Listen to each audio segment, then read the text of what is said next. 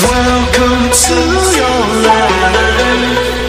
There's no turning back. Even while we sleep.